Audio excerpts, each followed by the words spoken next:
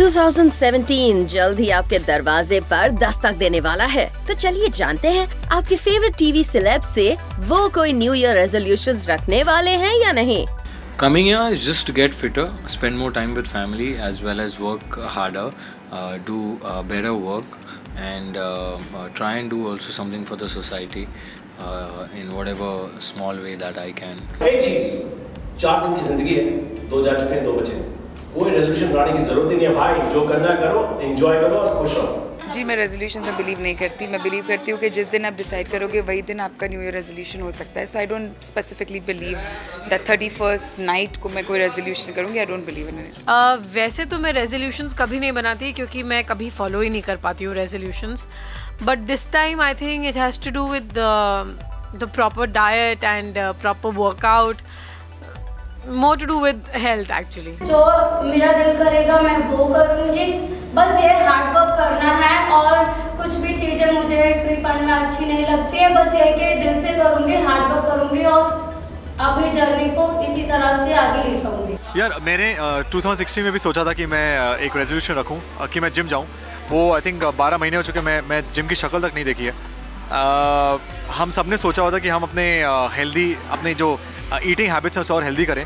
जो अब तक नहीं हुआ है हम हम हर रोज़ सेट पे समोसे और कचौड़ियाँ खाते हैं। 17 में हमारा रेजोल्यूशन हुआ that I think the most important thing is to to actually think healthy which I think we have to do मेरा न्यू ईयर का रेजोल्यूशन ये है कि मैं इस साल जितनी मैंने मेहनत करी उससे ज़्यादा मेहनत करूँगा।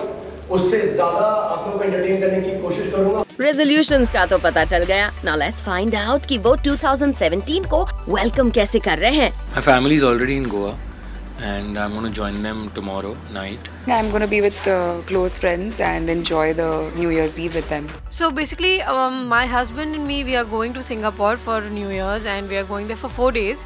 Uh, luckily, this time we we have this four days ki chutti, so we thought why to waste them because usually you don't get char din in a stretch.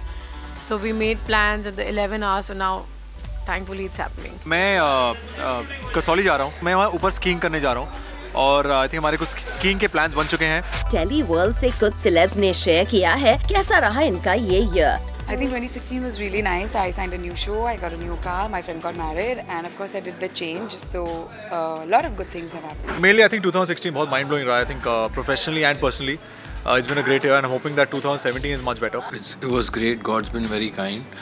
Uh, did three shows uh, in this year. Work-wise, it's been great. Uh, Ayan's been growing up, so have uh, you know he started talking, and so on the family front, it's great. So I think 2016 has been a good year. Professionally and personally, both 2016 has been very uh, grateful and kind to me.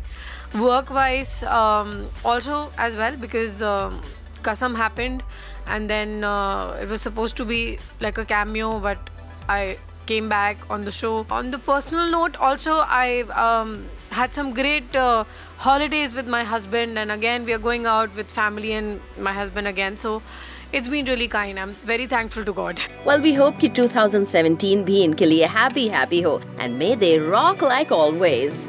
Book my TV के सभी viewers को रुबीना दिलीक की तरफ़ से a very healthy and wealthy 2017 happy new year wish you all a very happy new year very happy new Year!